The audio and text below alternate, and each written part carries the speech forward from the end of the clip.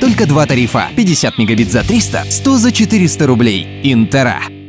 Возьмите ребенка за руку, сними наушники, убедись в безопасности. Кому-то эти простые фразы могут спасти жизнь, уверены волонтеры, и в очередной раз выходят вместе с ГИБДД на профилактическую акцию. Ее цель – обратить внимание пешеходов и велосипедистов на их собственную безопасность.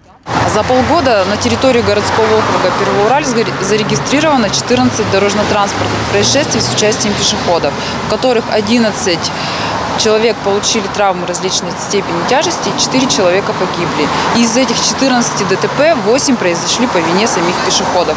С красками, трафаретами и кисточками волонтеры нескольких общественных организаций выходят к самым оживленным пешеходным переходам. В паре шагов от проезжей части, чтобы идущий обязательно обратил внимание, наносят надписи «Сними наушники», «Велосипедист по зебре только пешком» и другие.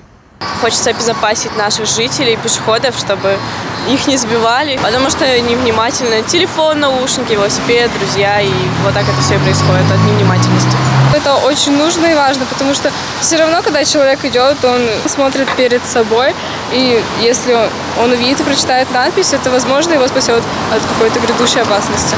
О возможной опасности при переходе дороги не всегда вспоминают сами взрослые и уж тем более дети, отмечают прохожие. Поэтому такие напоминания пешеходам и велосипедистам – дело нужное. Часто наблюдаю, как дети бегут через дорогу, особенно маленькие дети. Конечно, такие знаки нужны. Единственное, хотелось бы покрупнее такие знаки, потому что не все люди смотрят под ноги, не все обращают внимание. Такие полезные надписи сегодня появились у всех пешеходных переходов в районе площади Победы и возле инновационного культурного центра. Оксана Токарева, Кристина Сипьева, Владимир Махмутов, Интера ТВ.